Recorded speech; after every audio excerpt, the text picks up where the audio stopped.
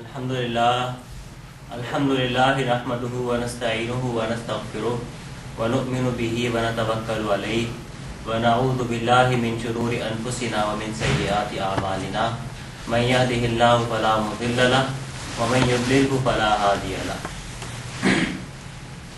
فإن خير الحديث كتاب الله وخير الهدي هدي محمد صلى الله عليه وسلم وشر الأمور محدثاتها وكل محدثة بدعة وكل وكل بدعة ضلالة وكل وكل ضلالة في النار. أما بعد فأعوذ بالله من الشيطان الرجيم. بسم الله الرحمن الرحيم. يا أيها المدثر قم فأنذر وربك فكبر. شرع لكم من الدين ما وصى به نوحا والذي أوحينا إليك وما وصينا به إبراهيم وموسى وعيسى أن أقيموا الدين ولا تتفرقوا فيه. اس کے بعد سورۃ التوبہ کے اندر اور سورہ فتح اور سورہ صف کے اندر آیت آتی ہے هو الذي ارسل رسوله بالهدى ودين الحق ليظهره على الدين كله ولو كره المشركون وقاتل کے بعد سورۃ الانفال میں آتا ہے، وقاتلوهم حتى لا تكون فتنة ويكون الدين كله لله. صدق الله العظيم رب اشرح لي صدري ويسر لي امري واحلل عقدة من لساني يفقهوا قولي لوگ میرے سامنے آ جائیں تاکہ مجھے سائڈ میں نہ دیکھنا پڑے۔ اور میں سامنے دیکھوں گا تو پھر ریکارڈنگ سے ہو جائے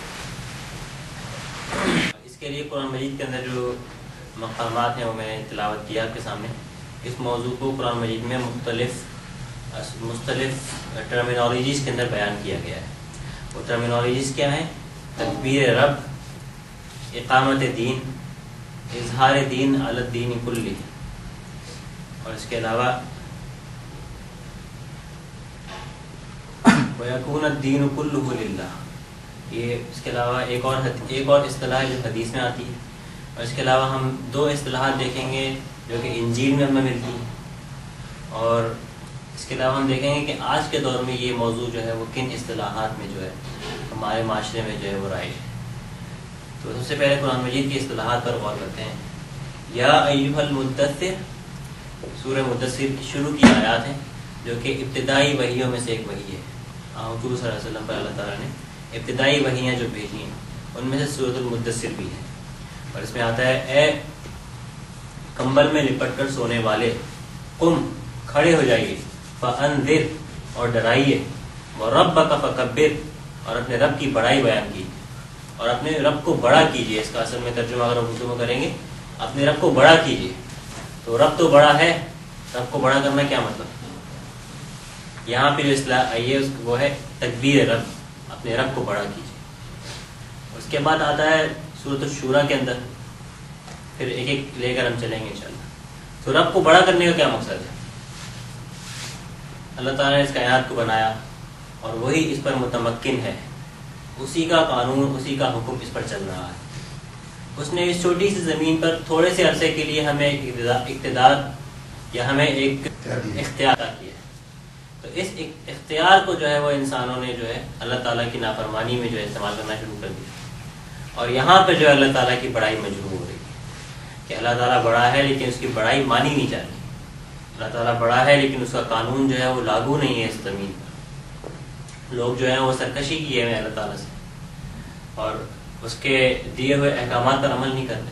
اس کی دی ہوئی تعلیمات پر عمل نہیں کر رہے اور اس کے منع کی ہوئی چیزوں سے جو ہے وہ روک نہیں رہے۔ تو یہ اصل میں ہے۔ اور اس کے علاوہ اللہ تعالیٰ کے غیر اللہ کی حکمیت قائم ہے اس زمین پر۔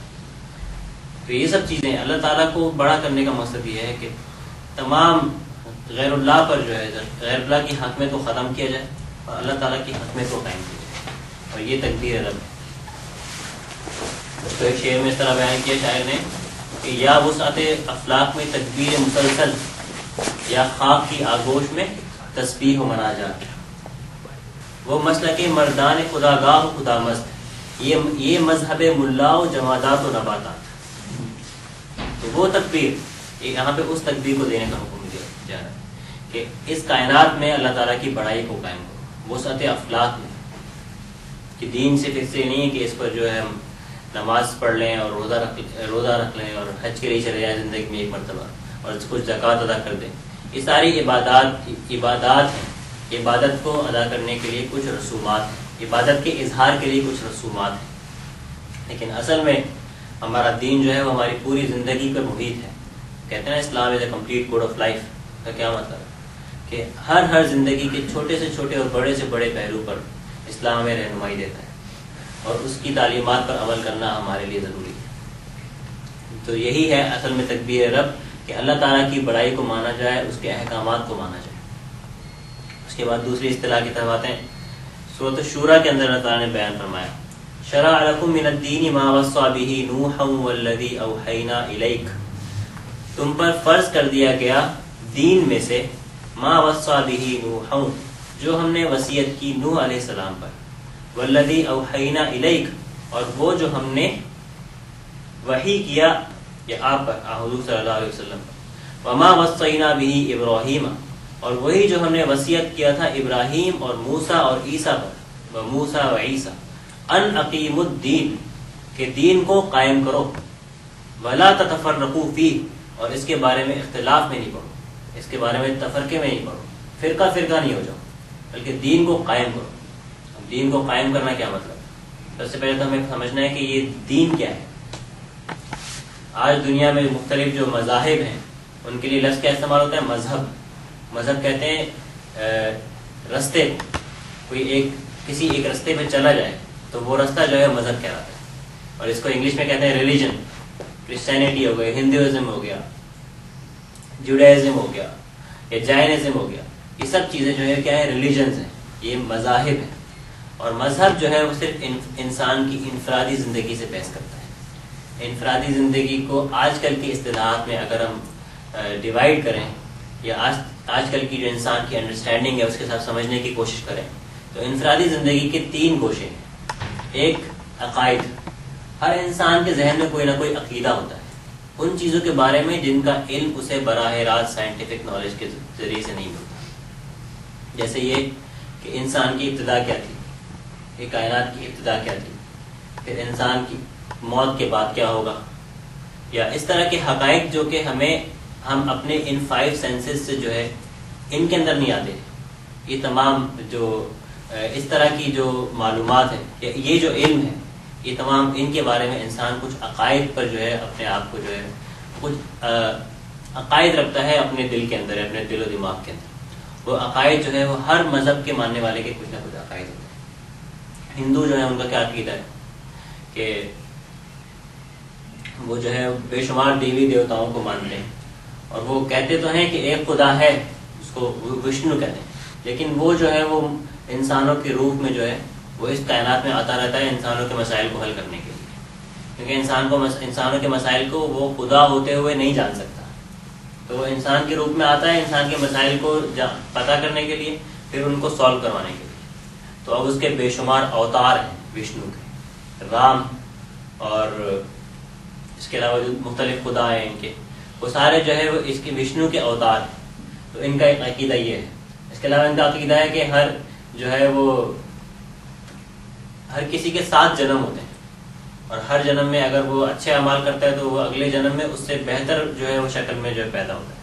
اور اگر برے اعمال کرے گا تو وہ اس سے بدتر شکل میں چلا جائے گا۔ تو یہ ان کا ایک عقیدہ ہے۔ تو اس کے، اسی طرح کرسچینٹی کو دیکھیں تو ان کے کیا عقائد ہیں؟ وہ ٹرینٹی کو مانتے ہیں۔ تسلیس کا عقیدہ۔ تسلیس کا عقیدہ ان کے ان کی دین کی بیسکس ہی وہی ہے۔ وہ کہتے ہیں کہ یہ توحید بھی ہے اور تسلیس بھی ہے۔ یونٹی بھی ہے اور ٹرینٹی بھی ہے۔ کس طرح؟ کہ ایک خدا ہے، اس کے تین حصے ہیں۔ خدا اور روح القدس اور عیسیٰ۔ یہ تین کو جو ہے، وہ تینوں کو خدا بھی مانتے ہیں۔ کہتے ہیں تینوں الگ الگ بھی خدا ہیں، تینوں مل کر ایک خدا ہے تو وہ کہتے ہیں کہ یہ جو ہے، وہ ان کا ان کا جو ہے توحید کا عقیدہ ہے۔ اس طرح ان میں کچھ گروہ ایسے بھی ہیں جو کہ روح القدس کی جگہ مریم علیہ السلام کو جو ہے وہ خدا مانتے ہیں۔ تو ان کا جو ہے خدائی کا تصور یہ ہے۔ تو یہ ان کا عقیدہ ہے۔ آخرت کے بارے میں ان کا بھی عقیدہ ہے کہ آخرت میں جو ہے ہمارے اعمال کا حساب کتاب ہوگا۔ اس کے علاوہ یہودیوں کے کچھ عقائد ہیں۔ تو ہر مذہب کے ماننے والے کے کچھ نہ کچھ عقائد ہیں۔ یہ انسان